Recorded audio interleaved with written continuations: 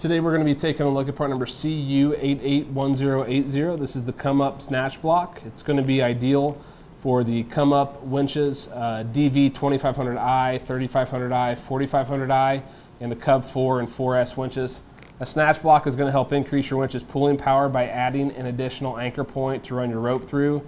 It can also be used to change the direction of pull without damaging the rope, and it can be used to um, redirect the winch line to spool properly back into the winch. It's going to feature the quick opening side plates for easy rope installation. Open up the side plates, place the rope in there, bring the side plates back together, and then you can attach um, a D-ring or a shackle uh, right here and then connect it to your anchor point. The diameter of that opening,